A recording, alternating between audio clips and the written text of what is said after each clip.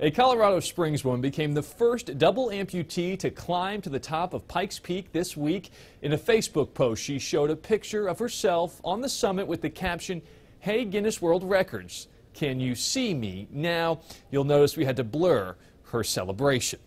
Mandy Horvath accomplished it after several grueling days using her hands to crawl up the trail leading to the 14,115 foot summit of America's Mountain.